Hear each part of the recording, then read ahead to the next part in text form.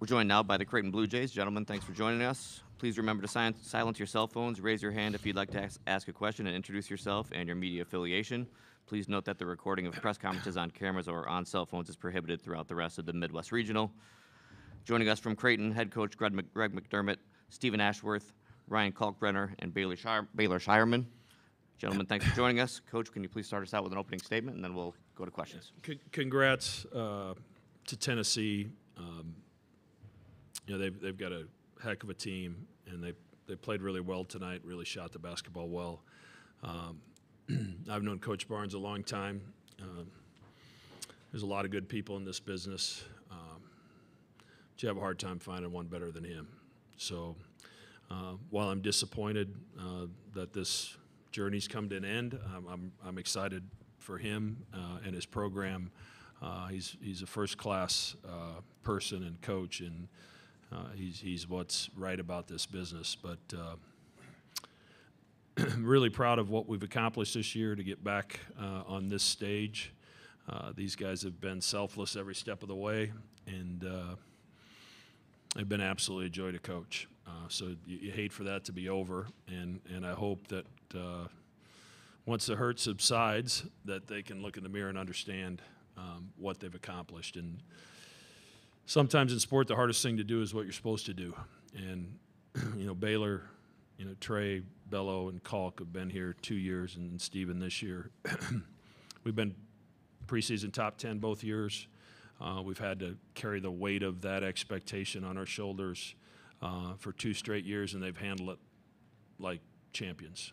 Um, and that's leadership, and that's uh, focus and understanding who we are um, and staying connected. And these guys have, from a leadership standpoint, the four up here in Trey have uh, they've been incredible, and they've been a great example to the young guys in our program. Uh, I've learned a lot from them, uh, having the opportunity to be around them every day, and um, it, it's uh, it's sad that it's over, but man, was it uh, was it fun while it happened. Thanks, Coach. We're also joined by Francisco Farabello. We'll uh, open it up for questions for the student athletes first, please, starting on the left side with Larry. Larry Leach from the AP. Steven, can you talk about their defense from logo to rim and just how relentless it is? Yeah, they're a very talented defensive team, and uh, in the first half, I felt like we struggled to get uh, in the paint and then uh, kick it out for three-point shots or find other ways to facilitate. But I think as the game went on, uh, Kalk did a great job of setting high ball screens, and uh, then we were also able to release the pressure by throwing it into him and letting him go to work. And so uh, throughout the game, I think that we got it more and more figured out. But they're a very talented defensive team. Additional questions for the players, please. Front row right. Matty Marines from White and Blue Review. Either Ryan or Baylor, please. Uh, I guess the rub with this event is that 67 teams are kind of going to experience what you experienced. Can you, I guess, what's going through your minds right now as you just try to encapsulate all that you guys have done? Ryan, you want to start us with that one? Um, yeah, I mean, you you go into this tournament with high expectations and you want to make it as far as you can. And after a loss like this, the loss hurts and and you you you wanted to go further, but I mean, you take a step back and look at the journey you've been able to go on with the team and people you've had on your team and it's hard to do that right now. The further we get away from this game, the more and more I'll appreciate it because this is a very, very special group, players, staff, ev- everyone involved. Like, it's just a special, special group to be a part of. And even though it didn't end the way we wanted it to, we're gonna look back on this year, team, group, and just, for me personally, I'm just grateful to be a part of it. Baylor, you want to add to that? Yeah, kind of going off what Kalk said, you know, um, obviously disappointed that we lost. Um, you know, we, we had big goals coming into the year, and um, we didn't necessarily accomplish everything we set out to do. But um, I think, you know, obviously, like I said, disappointed in the loss, but more sad and uh, about the fact that, um, you know, I'll, never be able to put on this Creighton uniform again. Um, I'll never be able to play with this group of guys, um, and I'll never be able to play for Coach Mack again. Um, and I think that's um, really what um, is is going through my mind right now. Is just the, the reality that it's over for me, and uh, you know it's just been an absolute blessing to be able to put on this uniform and play for Coach Mack and play with these guys. So. Like we got a question in the third row on the right. Chris McKinder, AP Broadcasting. Um, Baylor or Steven, could you kind of reflect on what happened during that 18 nothing run that they had early in the second half? And then what does it say about you guys that you were able to cut it to three, but you had to work so hard to kind of get back? Steven, want to take that one? Sure. Yeah, they uh, came out in the second half, a lot of energy, and uh, we also ignited that fire, I think, with a few mistakes to add on top of that. Allowed them to get out in transition and, and get their rhythm going. And uh, it's always hard uh, to come back from a run like that, but basketball is a game of runs. And I think that, uh, you know, the biggest thing about this team that I've just learned the whole year being a part of this group is that it's a team with a lot of uh, grit and a team with a lot of experience. And so to be able to answer that run uh, possession by possession, we understand there's no 16 point play. And so you have to approach it that way. And it was obviously uh, exciting and, and proud of this group to fight back the way that we did. And uh, we were very close to, to turning that uh, on them. But they made some plays down the stretch as well to answer our run as well. Back to the first row here on the right.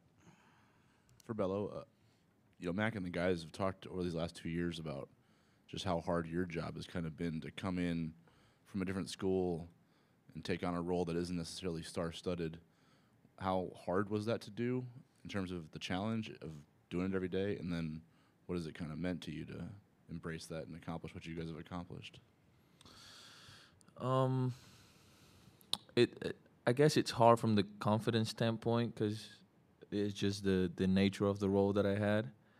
But I mean, coaching staff and players wa- made it way easier than than than what it should be. Um, especially because we are such a such a close group of guys um, that all all we want to do is win uh, and win at the highest level, and just being able to contribute to that and and and put the, the, the things that I can bring to the table um, made it a lot a lot easier. Go back to the left side, third row. Wes Rucker, 24/7 Sports. Question for Steven. Obviously, basketball is a five-on-five game, but but you and Zeigler are both sort of emotional guys. Kind of really like to kind of to lead the line a little bit and, and go back and forth. How much did you enjoy that matchup tonight?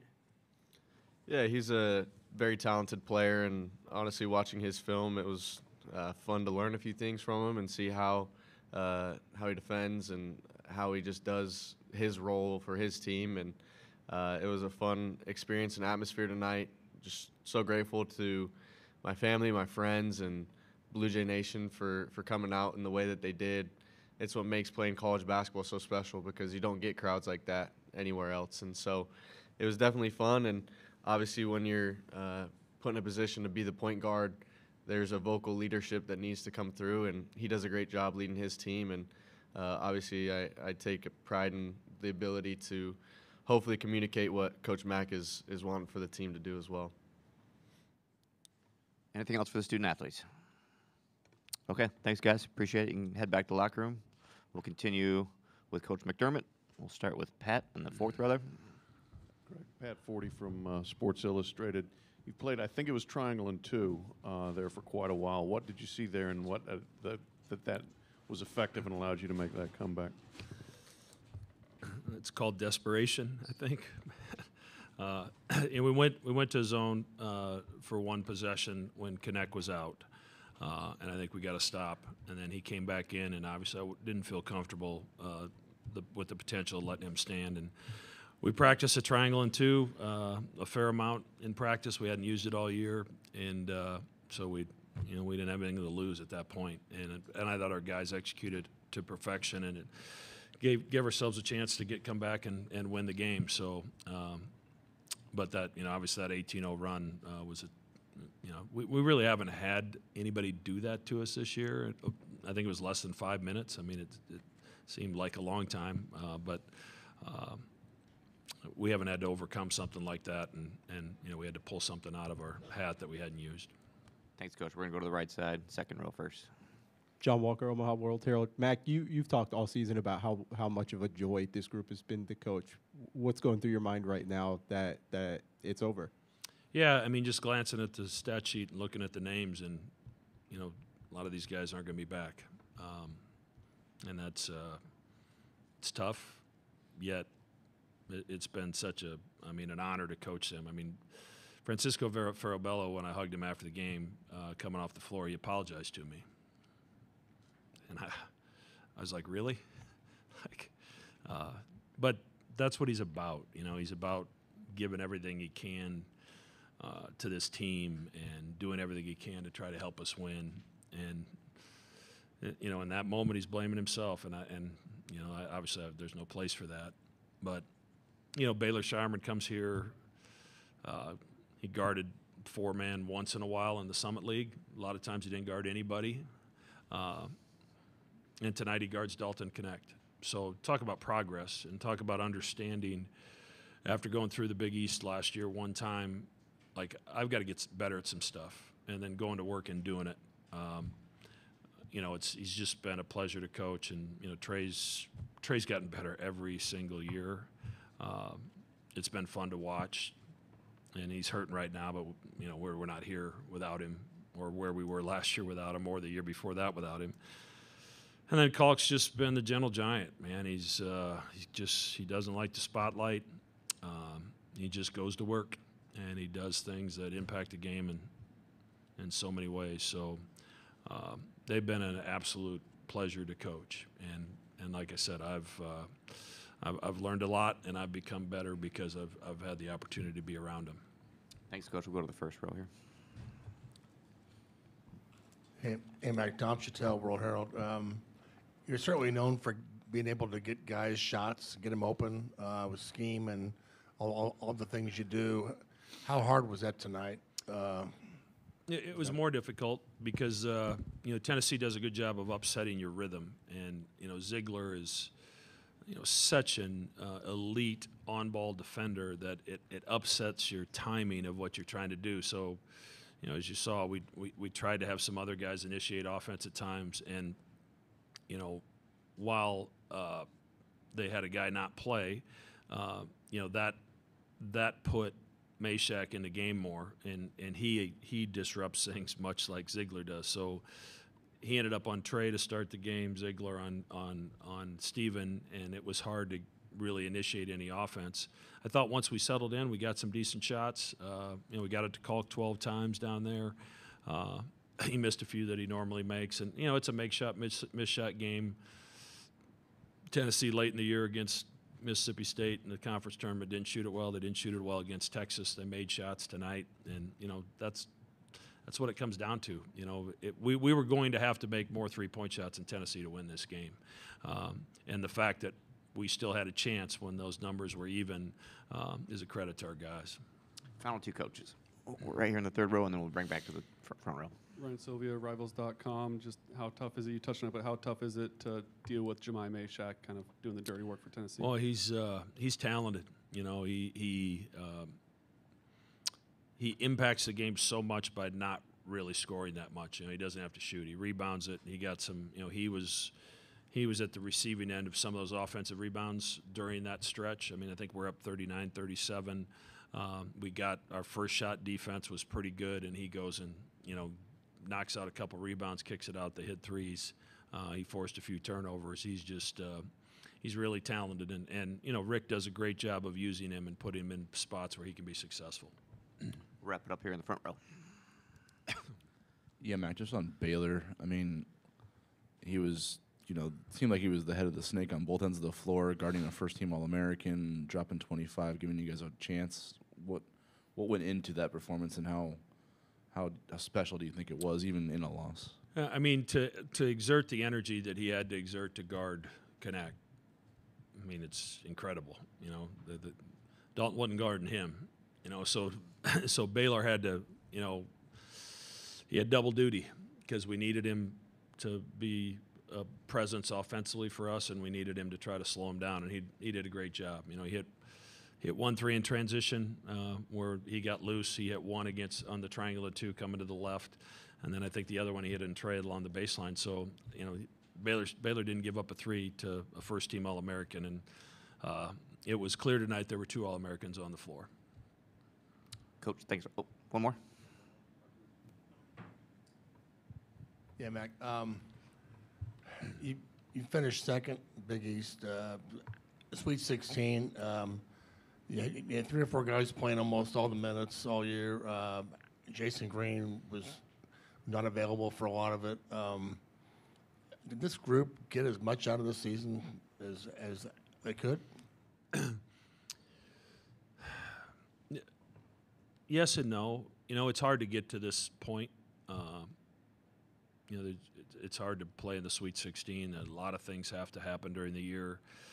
Um, the the Big East absolutely prepares you for everything you're going to see. Like down 16 to you know one of the best defensive teams in the country. You, you don't come back and give yourself a chance unless you've been battle tested. And there's such good coaching and such elite programs in the Big East that we have the belief that you know we, we've played against UConn, we've played against Marquette, we played against Providence and Villanova and Seton Hall, and a lot of really good basketball teams. Um, and we can do this one step at a time. Um, but you know, our, our, our guys developed as you, as the years have gone on. Mason's gotten better, Jasen's gotten better. Uh, we're excited about some of the young guys in our program, um, and obviously we you know we've got to hit the recruiting trail, um, and that's a little easier to do than it used to be uh, with the transfer portal. So. Uh, it's been an incredible uh, four-year run. That you know, Kalk is the one guy that's been part of that all four years, um, and uh, you know, our program is in a position, and we're supported um, by the institution and our department uh, in a way that we need to continue to be successful. So. Uh, you know, we, we tell our guys to move to the next play all the time, and while we're going to be disappointed about this loss, um, you know, my staff and I are going to get to work and, and try to put together a group that can get back to this point. Thanks, Coach. Appreciate Thank your you. time.